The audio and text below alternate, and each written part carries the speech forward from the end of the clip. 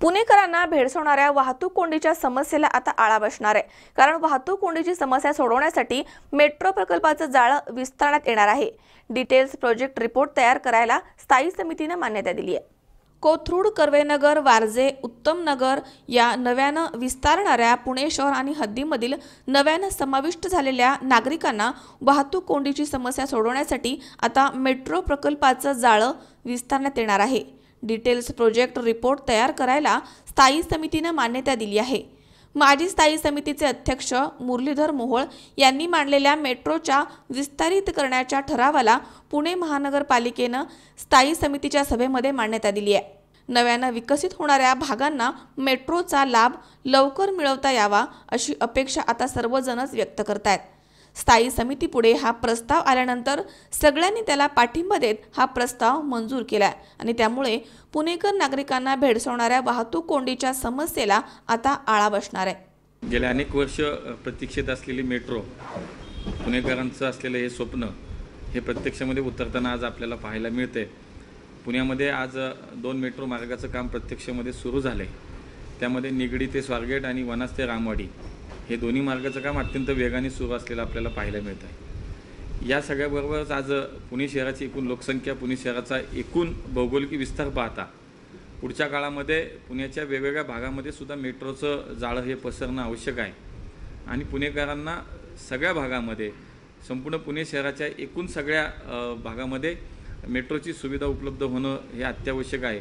आणि त्या अनुषंगानेच भारतीय जनता पक्ष म्हणून ज्या वेळेला आम्ही सत्ताधारी म्हणून विचार करतो पुणे शहराला एक सार्वजनिक सक्षम सार्वजनिक वाहतूक व्यवस्था उपलब्ध करून देण्याचा जेव्हा आम्ही प्रयत्न करतो त्यावेळेला हे निश्चितपणे प्रयत्न करतो की पुण्याच्या सगळ्या भागामध्ये मेट्रो कशी पोहोचेल.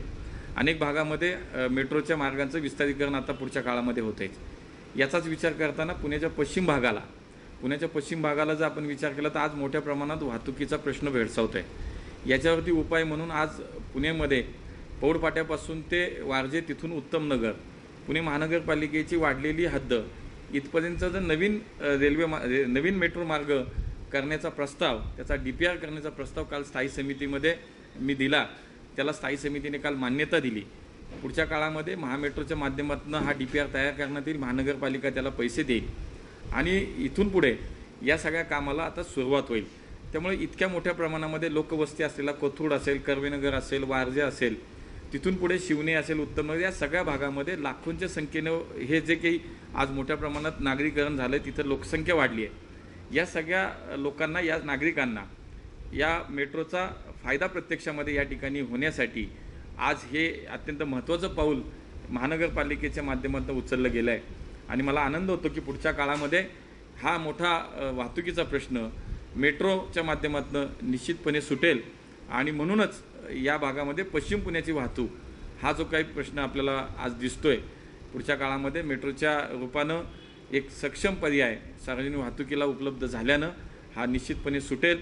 आणि म्हणून काल स्थायी समितीच्या माध्यमातून हा ठराव झाला. आणि त्याचं मी मनापासून या ठिकाणी स्थायी समितीचं सुद्धा मनापासून आभार व्यक्त करतो.